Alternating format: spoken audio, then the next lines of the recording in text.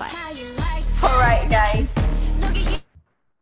Thank you so much. Uh, unfortunately, that wasn't. Uh, we didn't really have uh, Blackpink today uh, on on the Pure Sarah Road Show. That was an advertisement on Spotify.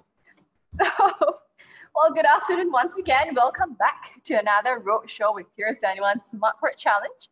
I'm Ning, Program Manager at PIER71, and today we'll be hearing from Klaveness Digital on accurate information about tramp vessel schedule uh, for decision making. And for more information on Smart Port Challenge, as well as all the innovation opportunities that are being put up by uh, the maritime corporates and other organizations, please head over to www.pier71.sg.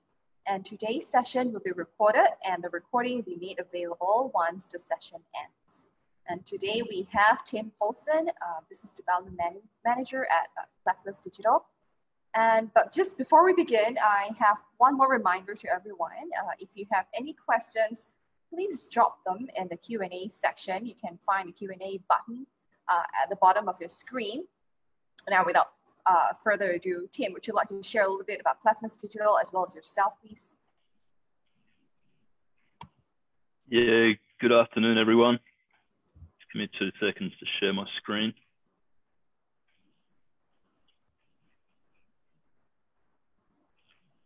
So can you see that okay, Ning? Yep. Okay, so to very briefly introduce Klaveness Digital, uh, we are a digital company that was spun out of the 75 year old ship owner, operator, uh, and manager, Torvald Klaveness, who uh, I'm sure in Singapore needs no introduction. Uh, they saw a need that customers in the heavy industry sector were coordinating shipments manually and by spreadsheets.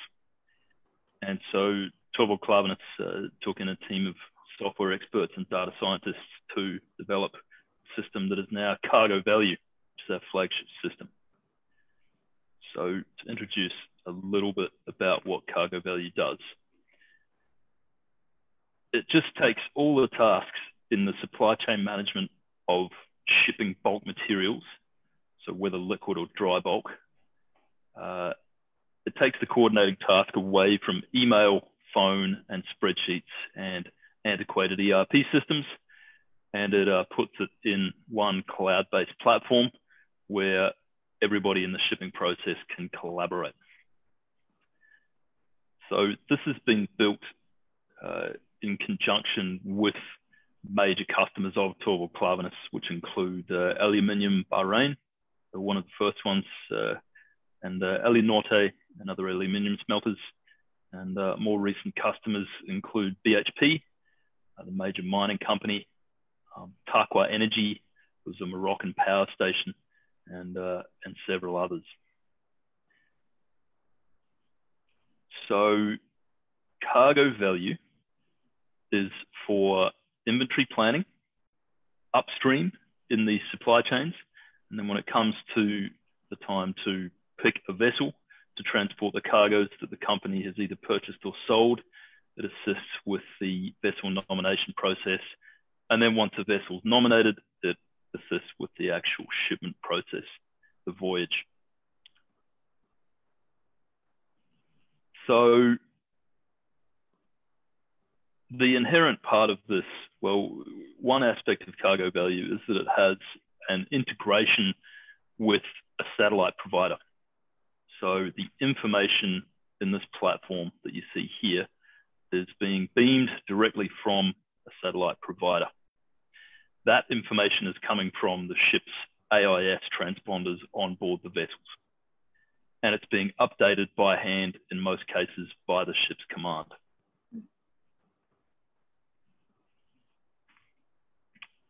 But the problem is the AIS transponders are running basically all the time. So the vessel's static position is very accurate. But by the nature of dry bulk and, and liquid bulk, the vessels are trampers. And for those not from the shipping industry, that means that the ships are not on a line of service. They're not like buses, they're like taxis they go from port A to port B according to where the cargo orders are from. They will, of course, mimic liner trades if they've got a COA or a contract of affreightment or repeat, uh, repeat business. But by and large, these vessels are called to go to different ports to take different cargoes as the case may be. So that's the biggest difference between um, tramp vessel and container vessels, right? Container vessels have got very fixed uh, routes, while tramp vessels, they, it's really dependent on where the demand and supply is. So uh, it's, it's really akin to your taxis analogy. Correct. Wherever there's a passenger, they pick it up and then they put the passenger down and then they will probably roam around the area. Uh, if there's another passenger to pick up, that's great. And then they're just, you know, to and fro, to and fro, but at no fixed um, lines. Yep, correct. And there are commercial motivators behind where these ships will sit and wait and where they'll sail and where they, uh, where they collect cargoes from. Uh, anybody who knows the, the Baltic Exchange, they have uh, a list of fixed routes that the different types of bulk carriers usually ply. And of course, world scale for tankers uh, is the other kind of regular routes that tankers travel. Um, so it's not totally random, but there is still a high degree of randomness to the way these ships behave. Which uh, brings us to the challenge of ETAs. So at the moment, our platform, along with a lot of other platforms that, uh, that rely on AIS data, they get one of these, which is an ETA update sent from the ship's bridge to the satellite, which is then sent to, forgive me, I'm not a software expert, but wherever the satellite is beaming that information to Earth, which then sends it to, uh, to our cloud-based platform eventually. So this one's quite good because it's been received 23 minutes ago. So anybody making decisions based on that ETA to this port can make them with a fair degree of accuracy. Hmm. Uh, if, if that ETA is updated all the time, it may change for any different reason. During the voyage, the vessel may go and collect another parcel of cargo, it may bunker, it may just sit and wait somewhere for any number of reasons. So that uh, that ETA uh, changes quite a bit. And if it's recorded as it changes, if it keeps everybody informed, it allows really, really good supply chain visibility, which is, uh, which is what we aim to achieve. And of course, anybody using this AIS uh, integration. But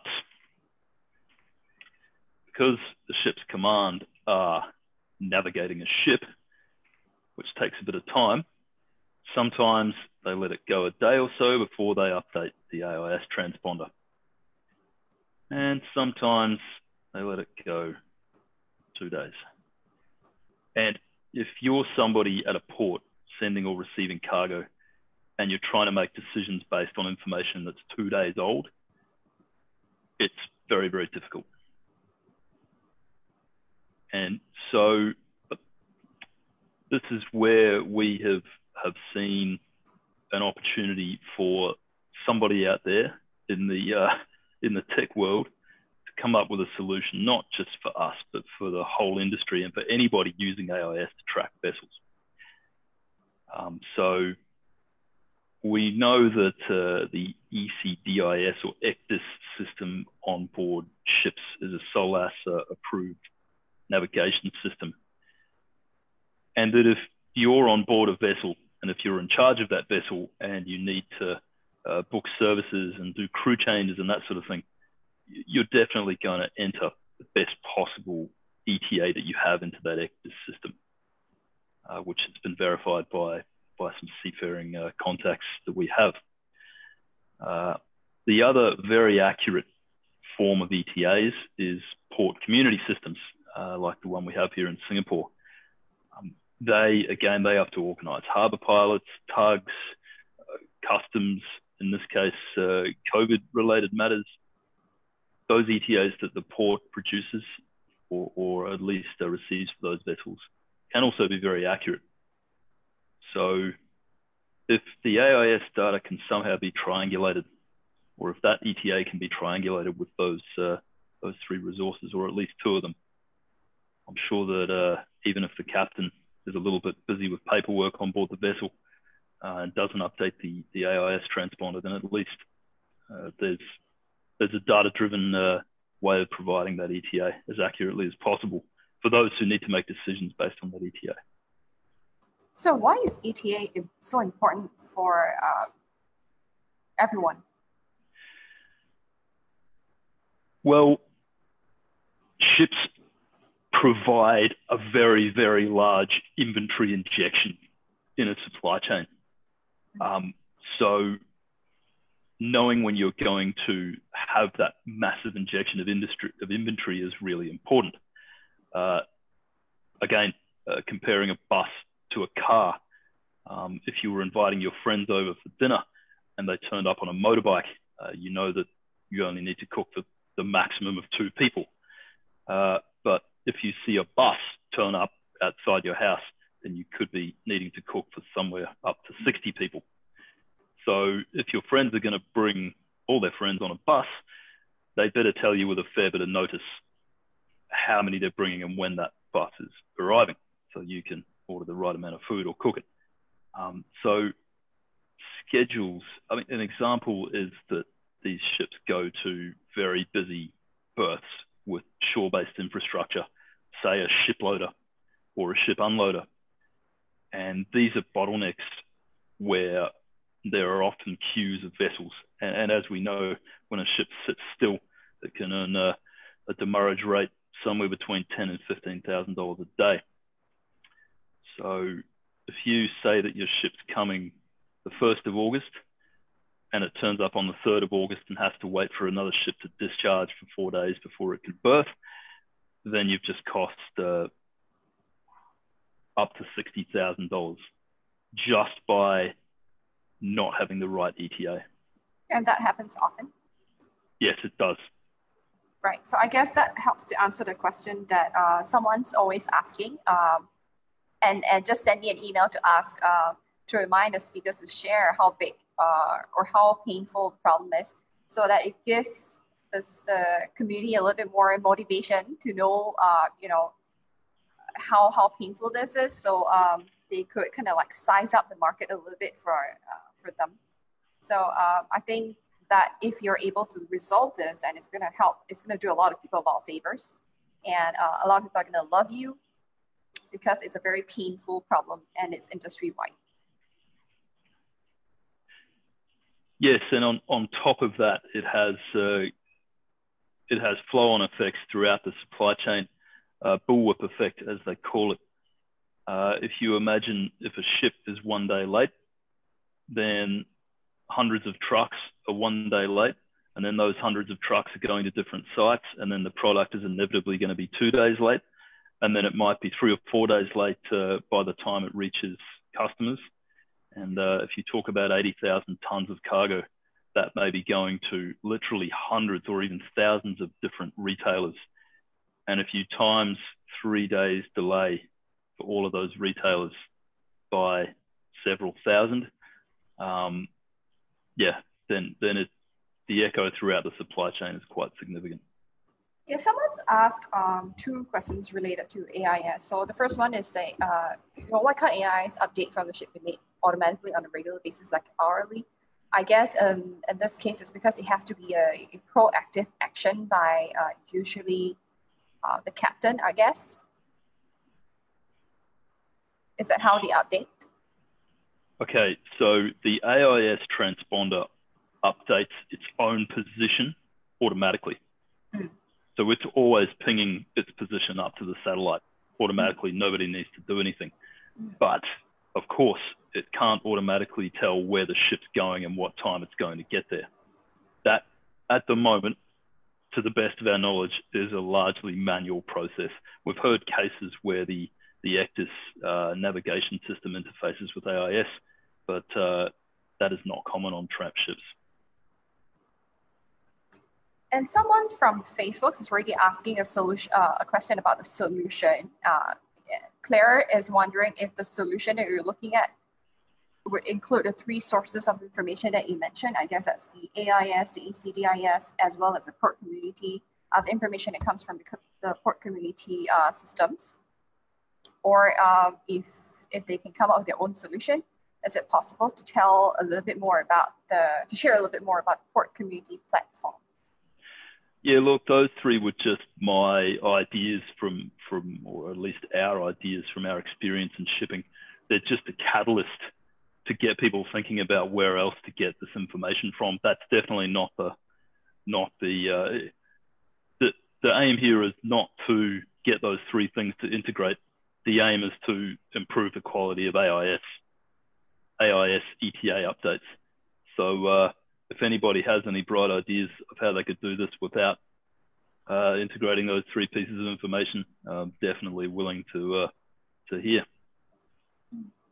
Uh, so the port, sorry, the port community system.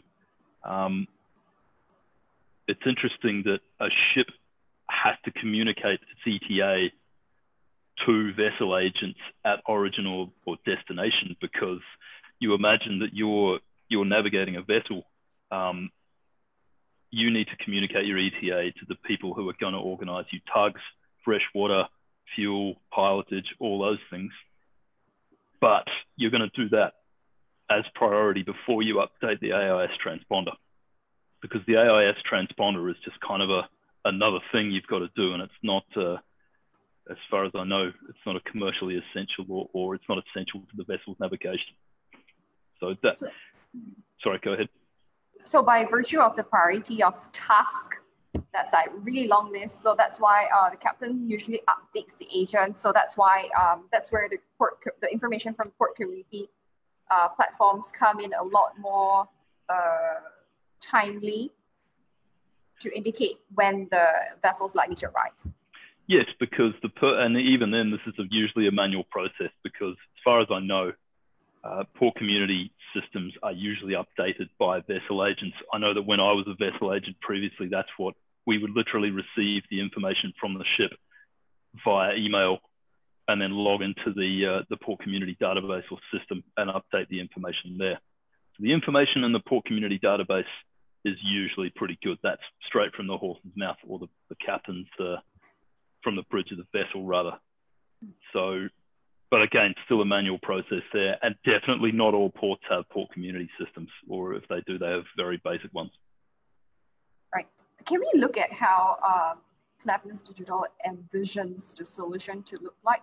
What would be uh, what would be what, what would a good solution look like to you? A good solution would just be that.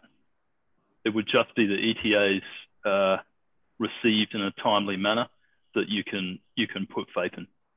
Because at the moment, these ETAs are good, but they need to be much better. To, to much make, better in, in so in what sense? Um, as in, you need to be able to trust them. And we know from the maritime industry, if you've got an ETA that's two days old, a lot can happen in two days. So you you just can't uh, you just can't put blind faith in an ETA that's two days old. The chances in most cases are pretty good that the ship is just maintaining that ETA.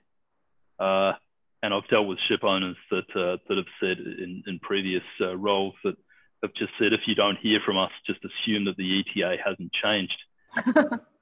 um, which no news is good news. Basically, that's what he's trying to say.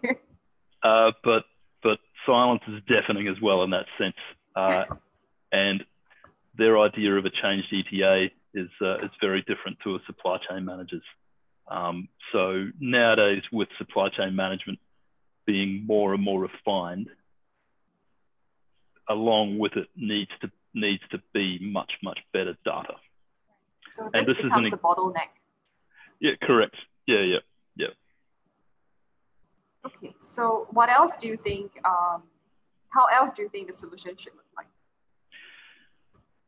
Well, uh, I'm a shipping and logistics guy, not a software guy. So uh, I'll throw that out to the uh, to the the mega brains that are probably in the audience listening to um, to think about this one and and see what what solutions that they can come up with. Because again, that triangulation is all that I can think of uh, based on experience. but there's also commercial considerations.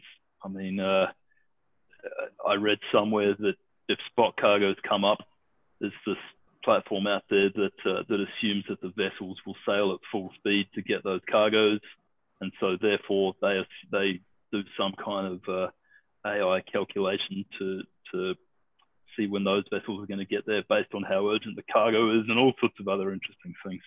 Um, so again, the solution that not only us but, but the industry as a whole needs is up to the minute ETA updates, the same as we see with uh, with with container ships. Right. So essentially, that's that's just what um, the solution has to do, right? To be able to report uh, better, trustable uh, ETAs. So that's the ultimate goal. And then a hint to the community is that uh, there are three buckets where they can get ETAs in, in various degrees of uh, timeliness. So that's the AIS, the ECDIS, as well as from the port community platforms. So if yep. someone can somehow integrate, uh, you know, this kind of information and then produce an ETA that's trustable, so that's that's really the goal. Yeah, and you know when you order a grab, you can you can literally see it on the app flying its mm-hmm. way through the streets and giving you uh, an update live, like your grab is two minutes away or three minutes or uh, or whatever. Um, that would of course be the perfect scenario, and that's totally not feasible for uh, for tramp ships. But um, maybe one. Well, that's where it should go head towards, right? Or at least a resemblance of that kind of uh, uh, outcome. That that would be the uh, that would be the dream scenario. Yes. Right. Uh, don't don't try and build that though. That's that's un, an unnecessarily uh, high level of detail um, for shipping, but to, to give you a to give you a concept at least. Yeah, but I mean we know definitely for sure that one day old data is is no good. Yep. Uh, two days is absolutely no no. Uh, so 23 minutes is it's it's good decent, but if we can uh, keep to that or maybe even um, reduce it, improve it from uh, 23 minutes. For, for bulk carriers that only sail at 12 to 13 knots, I mean, I would guess you could probably get away with an update every three hours. Sorry, I think somebody asked that earlier, but yeah, look, an update every few hours uh, would would probably be okay. Mm, yeah. Okay. Actually, uh, I'm not sure how fast that is. Uh, 12, 12 to 13 knots. That's equivalent to about 22 kilometers an hour. Or no, okay. it's uh, it's roughly double. So it's somewhere between 24 and 26 kilometers an hour. So sprinting speed for a athletic human. Yeah, that's doable. Okay.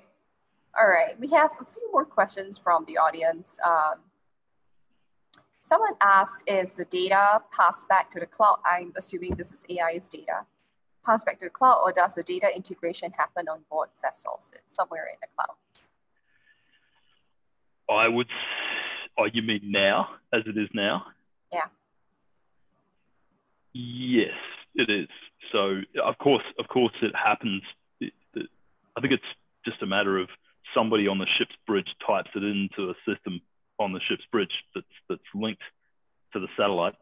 The satellite receives it, sends it to the satellite provider's facility. I'm not sure how that looks, but then of course the satellite provider's facility, they then upload it or put out an API or however it works uh, for systems like Cargo Value to connect with it, and then reproduce that information to all the uh, subscribers of Cargo Value.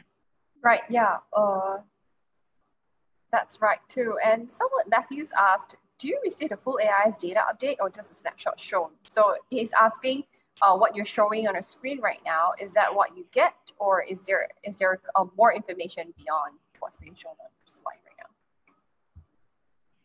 That is a good question. I think we can to some degree adjust what information is received. For the sake of simplicity, which we believe is a very, very significant uh, aspect to good supply chain management. All the cargo, all the users that uh, that we've found who use cargo value just really want the ETA. Okay. Um, actually, I'm just curious. Uh, out of curiosity, you were you were sharing just now that um, for tramp vessels, the way the the routes that it take uh, is random, but not quite random as well. So, what are the factors that affect uh, how random it is uh, as opposed to a container uh, vessel? I mean, it, it, it is based on a lot of things. Fundamentally, uh, who's buying cargo uh, and where that cargo is coming from. And remembering that a, for example, a Panamax vessel like the ones that Klaveness, uh, Torvald Klaveness operate can take a multitude of different cargoes. So if they've just discharged a cargo in India and then they sail back Singapore in ballast, they then might take bauxite from Australia to China. They might take grain from Argentina to China. They might take coal from South Africa to India. They have a wide range of cargoes that they can take. So the cargoes have different routes. And then if you think coal, it can go to, I mean, thermal coal can go from anywhere that produces coal to anywhere that needs coal for power generation. And you can imagine that that's quite a complex network. If you're sailing uh, out of Indonesia, having just collected a cargo of coal, you might go to Japan where there's power stations, China, might go just around the corner to Thailand. It's it's extremely hard to predict, and those uh, those decisions can be made. I mean, in some cases, again, for those not familiar with shipping, um, a cargo can actually change hands multiple times during a voyage, uh, and it can even change ports of ports of discharge during a voyage. Um, so it's uh, and this these decisions are made by people in offices who are doing deals every day, which of course is uh, very very hard to capture in in terms of data. So do these this these changes or rather the route planning happen very I mean how how I guess what I'm trying to say is how how much in advance are they planned out? Because I correct me if I'm wrong. For a bulk carrier, you have I can't remember what you call it, but then there are like those rooms yeah, on a vessel where they are used to contain or store things like grains and cement and, and coal. And then on, on a carrier, depending on the size, um, you can have multiple storage rooms, right? Uh, cargo holds, yeah. Cargo holds.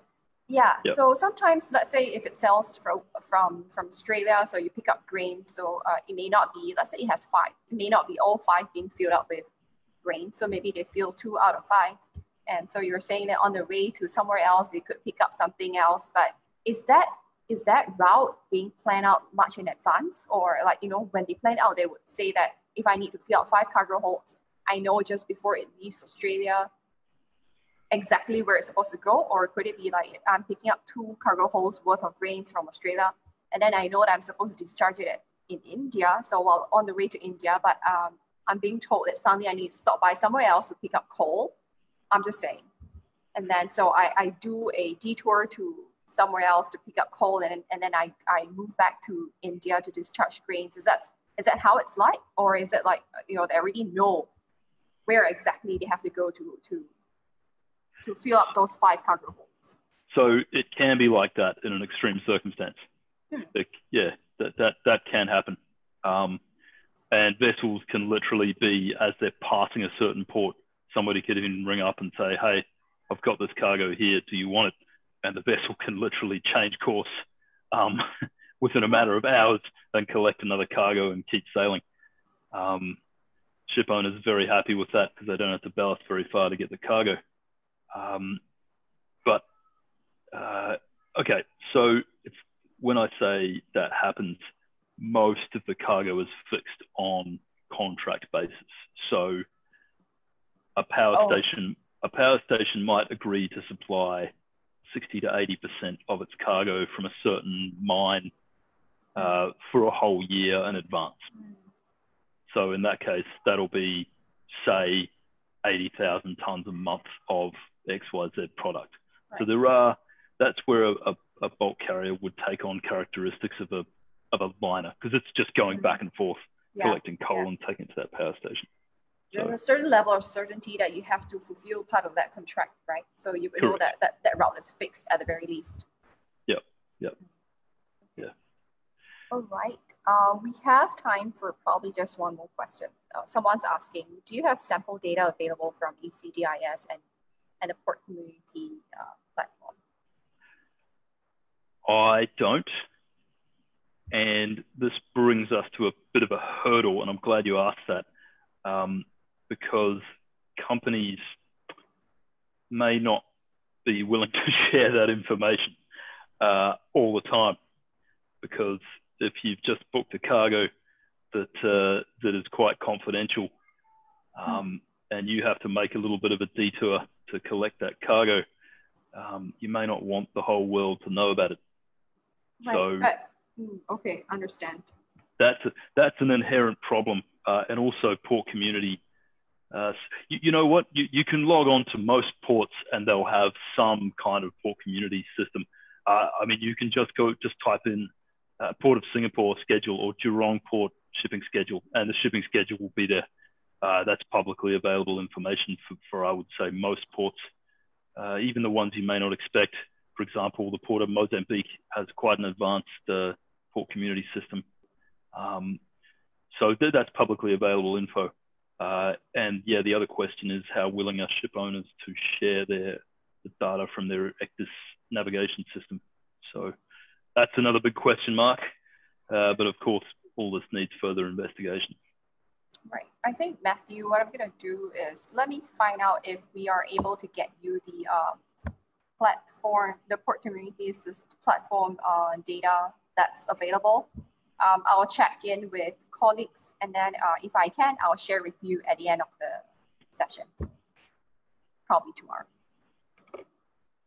Okay, all right, so I think that's about it. Uh, we don't have any more questions that we are going to answer um, on this um, live here today. So thank you so much, Tim. Um, any, any words of encouragement for those that are attending today's session because uh, this is the group of people that are likely to be putting in proposals to answer your innovation opportunity and of course uh, also those that are watching us on Facebook Live.